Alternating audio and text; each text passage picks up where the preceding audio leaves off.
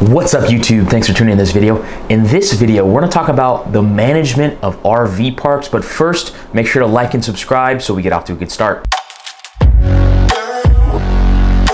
All right, so management of RV parks. It's a sticky subject. It tends to be the dirtiest of all the jobs really, and it can be pretty hard dealing with tenants and dealing with people while you're uh, working on an RV park. But in this video, I wanna talk about maybe a streamlined approach, something that could be easy for you um, that can kind of let you be hands off uh, in the management of your RV park. So I have a 14 lot RV park, a 10 acre property. And what I did for my management was I always wanted from the start, me and my partner, we wanted to be able to take ourselves out of the property. We wanted to be, we wanted to be able to take ourselves out of the project so we could work on other things and that we're not tied down to anything. What we did essentially was we took one of our lots that would have been to a client and we dedicated it to our property manager, which was actually my business partner's brother-in-law and sister. And we said, hey, you guys can build a house here and stay here long term. uh, in exchange, you need to manage our park. So your rent is doing either landscaping, checking people in, doing some of the accounting, uh, or doing something management related, maybe, you know, delivering products to people, stuff like that. But you have to manage the park essentially and you have to check people in when people come to visit to check out the spot or whatever you have to show it to them etc uh, and for us we liked it and we thought it was worth the money that we're giving up because we're always going to have somebody on the property. We're always going to have somebody on premises. And that we has shown us to be helpful because we always have a pair of eyes and a pair of ears out on the property so we're never just leaving it by itself number one. Um, and number two we want to be able to eventually leave, you know, and do other things.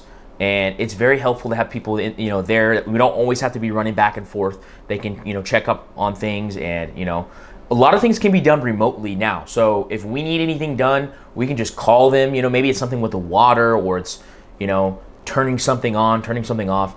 It's kind of a hassle to have to drive, you know, all the way there just to do something like that. When we can just call somebody and have them do it for us. So that was huge for us. Uh, but think about it if you have an RV park or if you're thinking about it. Uh, maybe there's somebody in your community or someone in your family that you know that you could put out on the property in exchange for free rent, but they need to manage things.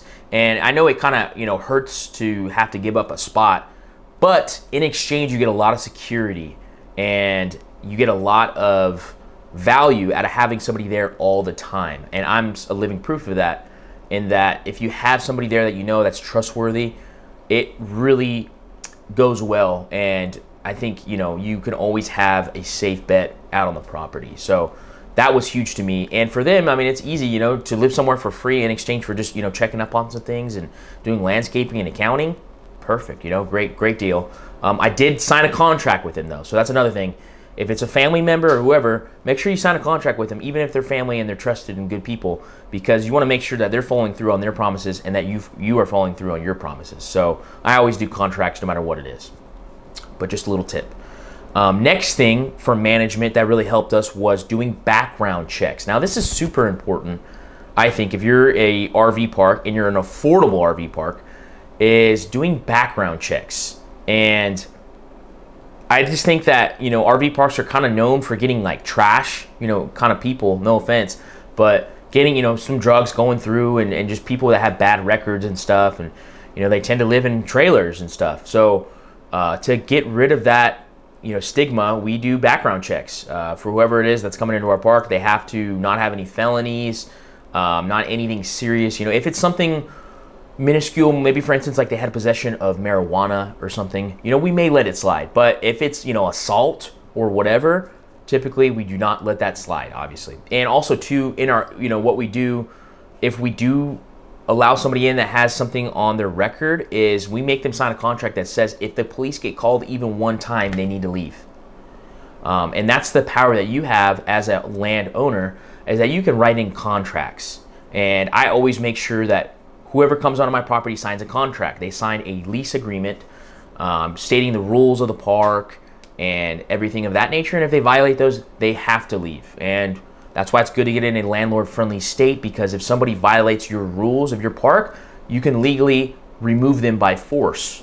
Um, so make sure that you are setting in place what the rules are for your park and that people are abiding by those rules. And that's up to you, whatever you want those rules to be. For instance, for us, some rules we have are no open fires outside of your RV space. And that's important because we don't want any fires, obviously. Um, and there's a designated spot for that. But that's something to think about because you know people if they're just you know if there's no rules and they can just cook their barbecue or whatever who knows what that could lead to you know that could you know lead to a fire or whatever and we don't want that um, so you know think about those things also too uh, for instance we don't let uh, dogs roam around on the property. They have to be you know inside um, and or you know they they can't be just you know if somebody's checking out the property we can't have dogs coming up to them you know? So we do allow for people to build a makeshift little fence in which they can stay um, but generally speaking we do not let dogs just roam around the property um, and that's something that you should think about because it's your park. You can do whatever you want. The management's up to you um, but i think in all ways try to keep it clean try to keep the trash out uh, that's really important too um, your neighbors, I mean your your clients are going to be interacting more or less with their neighbors, and you don't want trash people out there. You don't want. I mean, the, the more trash you let in, the more trash your RV park is. So try to keep it thorough.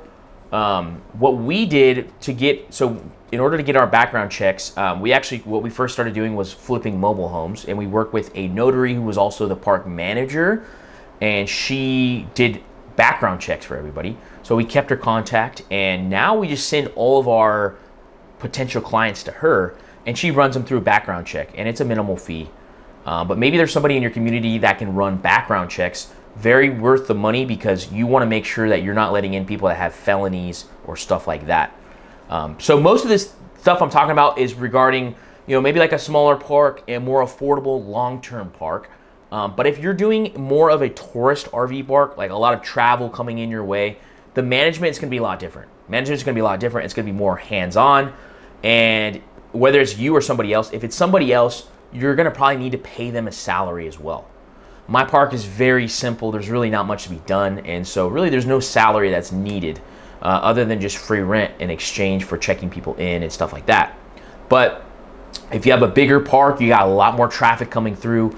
Um, you're going to be more hands-on. You're going to have to be out in your property essentially daily probably showing people where their spots are, um, you know, meeting with clients, whatever. And it can be more complicated. And if you do have a property manager, you're probably going to need to pay them a salary.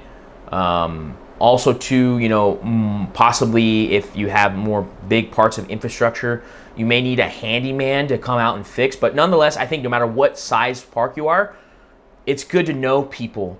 You know, for instance, like it's good to know like we know like an electrician so if anything ever happens electricity wise on our property that we don't know how to do we can call this person and they'll come out and check it out for us or the other day we had a pipe get busted and immediately we had a plumber come out at 8 in the morning fix the pipe and it's just good to know people like that and i think if you're going to start an rv park first things first you should know a general amount of people that can do certain skills. So like try to find an electrician, try to find a plumber, try to find, you know, landscapers maybe or whoever. Um, that way when something does happen, because things will happen, that you know who to call or you know how to do it yourself. But just be ready for that. Um, so I think those things are important. But if you are a bigger RV park, you're going to need to have those people on hand quite often, probably. Um, your property manager is going to be doing a lot more work, so they will probably need to get paid a certain salary. Also, you need to decide if you're going to do background checks for people that are just staying for a couple nights or if you're not.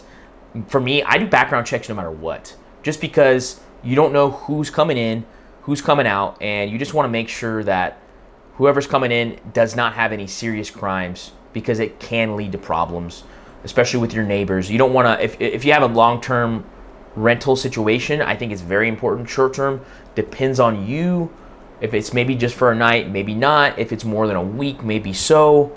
Uh, that totally depends on you. Also, like, are you gonna re- are you going to are you going to regulate the certain RVs that come in? That's what we do. So typically, we don't do anything before 2005. So if it's an RV that is before 2005, we need to look at pictures of it and make sure it's still in decent condition. Uh, but typically, nothing before 2005. We want our RV park to look generally pretty clean. I mean, decently, you know, it doesn't have to be over the top, but we just want to, we don't want it to look like a trash RV park. We don't want to be, you know, we don't, we don't want to have that connotation of like uh, drugs or like just trailer trash. You know what I mean? So we want to kind of try to keep it somewhat clean and you can do your part by regulating the RVs that come in. And I get it. If it's, you know, if you're not, if you don't have a lot of business, it's, it's tough to turn down somebody that is trying to come into your park, but they have a 2001 RV, right? So that's up to you. I would just at least ask for pictures and make sure that it's, it's decently clean. You know, if you are gonna let something in that's older, um, that's up to you really, but we try to do 2005 and later. But there's little things like that that you got to know as you know a manager of your RV park, or if you're going to have somebody, you need to know whether or not you're going to do background checks for people that are staying nightly and whatnot. Um, but just be prepared in management overall of your property because things will go bad at some point. You know, the, the water will give out, you know, some kind of pipe will burst or the electricity or something.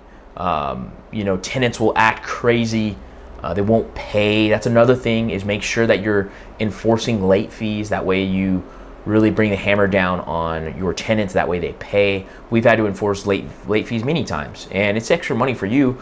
Um, but really, the idea is, hey, you know, you're staying in our spot. You need to pay, and just be in a spot where, or be in a state where, if need be, you can kick your renters out, um, and make sure you put everything in your lease agreement.